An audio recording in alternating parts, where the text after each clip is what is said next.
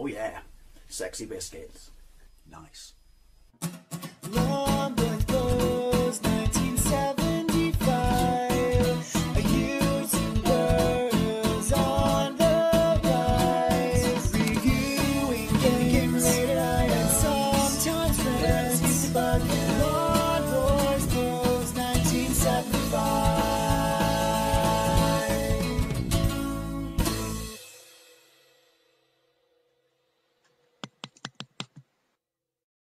is 3D Star Strike on the Amstrad CPC, released by Real Time Software in 1985. It's also available on the ZX Spectrum, which I have many gameplays of, including a comparison of it against the original Star Wars Arcade on the ZX Spectrum by Domark. I don't think this got a Commodore 64 release, by all means correct me if I'm wrong, as I could find no information on this. I had it on the Spectrum as a kid, the original tape, still have it somewhere, um, and we absolutely loved it because basically it's Atari Star Wars Arcade. It's unlicensed, it does just enough for them not to be sued and how it differentiates, uh, you know, differentiates itself from, you know, Atari Star Wars Arcade. But then to be fair, everyone ripped off every game back in the day, like Kong, you know, um, Frogger and shit like that. And as far as I can tell, very few people got sued. Uh, on the Spectrum, it's vector graphics and it's absolutely fantastic. In fact, the only weak part of it is the sound. So I'm hoping this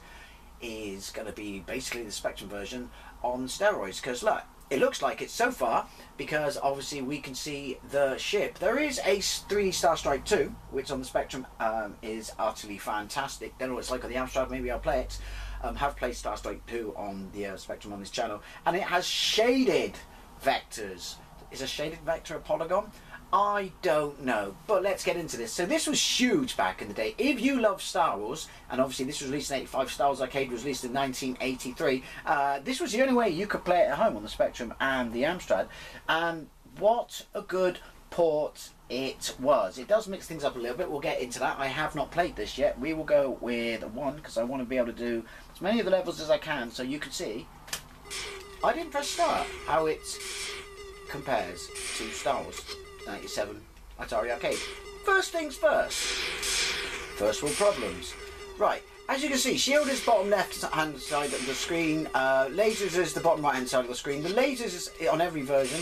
This and the Spectrum basically deplete and then recharge to give it uh, an area of I don't know strategy, difficulty, challenge, um, and make it different from Star Wars. However, it's a pain in the ass because this is easy level, and if they keep firing quickly enough, then you have to keep your guns on.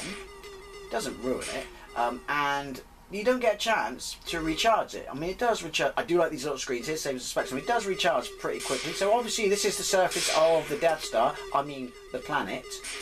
See, it's Star Wars. We, the first one was we were out in outer space. It's essentially TIE fighters, only they're not quite TIE fighters.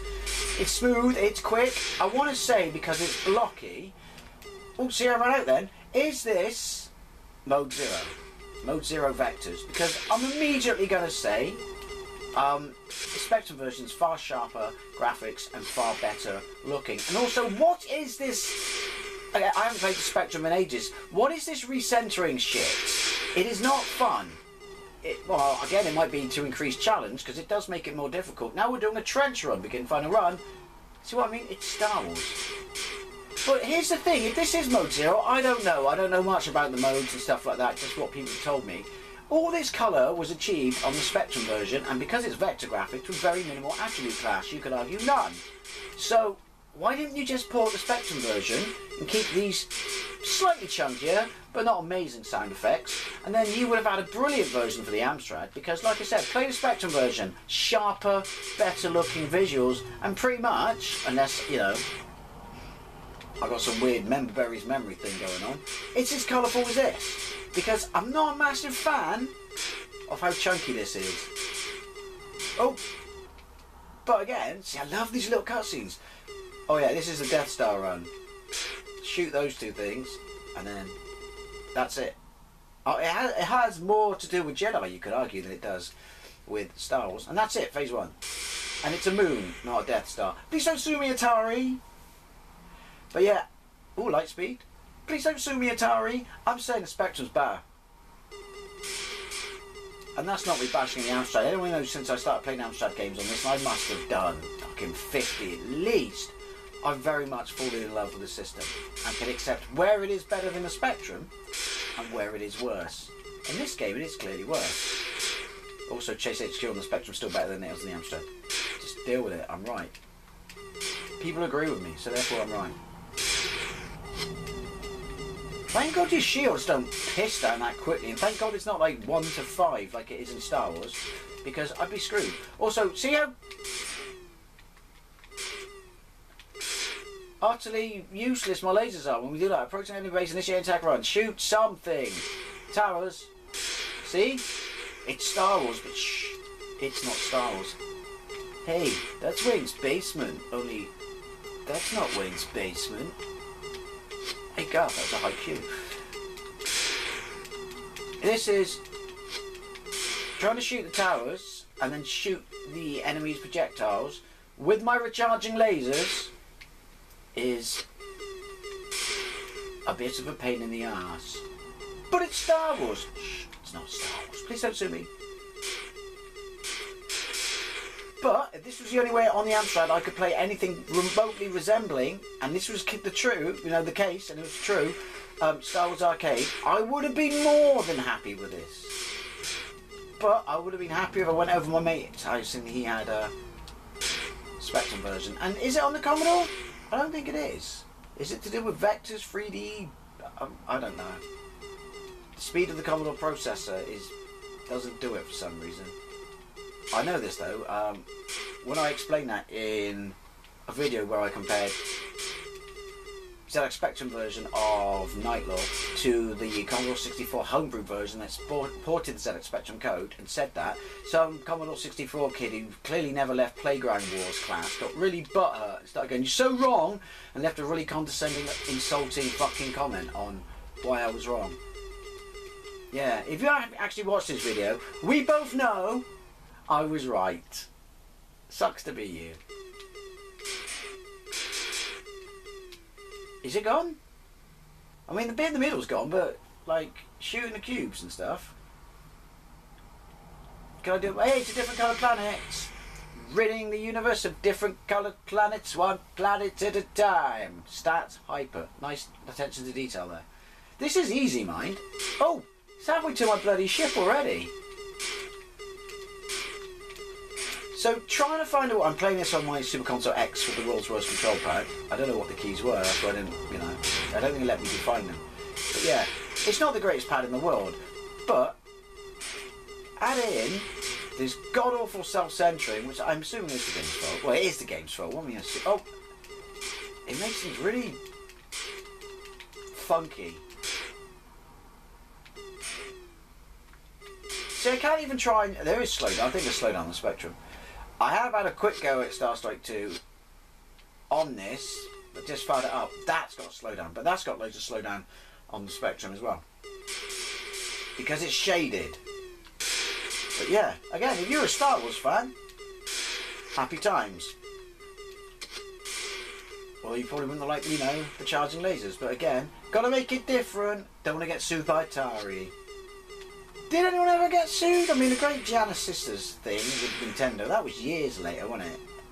85, we're still talking early days of, you know, uh, Commodore 64, ZX Spectrum, Amstrad CPC days, and everyone ripped off everyone, and no one cared. And they were all friends and went round each other's house to have tea and biscuits. True story. Or did anyone get sued? Hey, not all the towers have got yellow shooting bits. I see.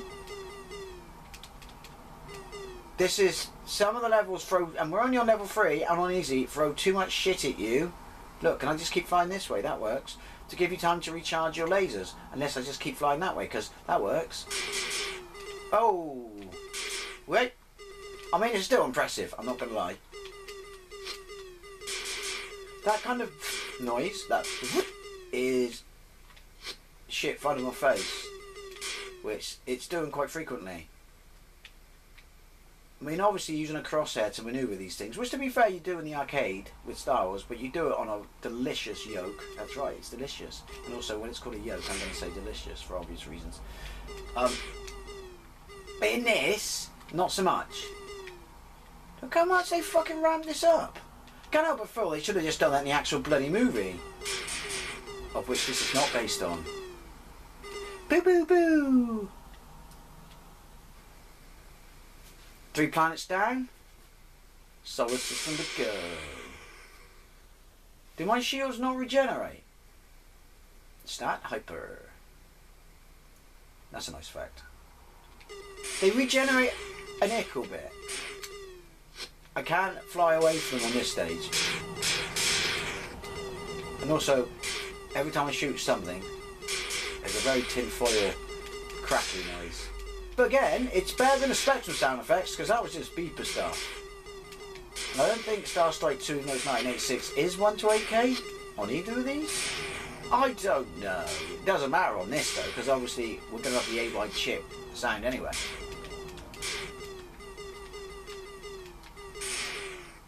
Do! And words to that effect. Shoot 15, ah, 15 enemy tower tops. Two, three, I'm going to count myself. Four, I don't trust my targeting computer, see what I did five.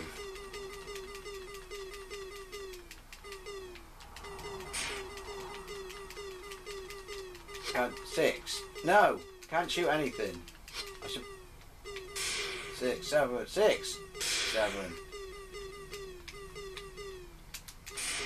Eight. I should probably concentrate on shooting their, en- uh, their enemy, their um, shit more. Fire, firepower. I can't think of the words. Ten. Or was that nine? I'm not looking at the bottom. Hey! Did that do that? Did I do that? Did the Force do that? No, the Force doesn't exist in this world because it's not Star Wars.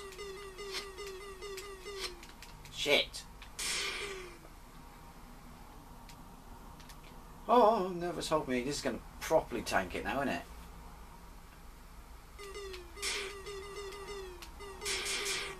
Yoink, yoink. It's quite the GTI, isn't it? Hey, so they can go underneath you. Obviously not that one. I don't think it hit me though. That one did. This is impressive. Like I said, it may not be as good as the Spectrum version. Again, it's been a while since I played that, so you know, pinch of salt. But obviously, I'm a Spectrum fanboy. But this is impressive, and you would have loved this if you wanted to play Star Wars at home. I mean, what a brilliant idea to do it. It, all the magazines, you see, you couldn't say it was anything like it. You just advertised it, but all the magazines were doing the rest of the marketing for you by saying, "Hey, it's just like Star Wars Arcade by Atari. Buy it." And therefore, you're not saying your game is like it, and the fact that it's you know so good um, for itself. Anyway, 3D Star Strike on the Amstrad CPC. It's not as good as Spectrum, but it's still pretty good uh, as an early Star Wars Arcade game. Anyways, always, I'd love to know what you think. Thank you very much for watching. I'll see you later.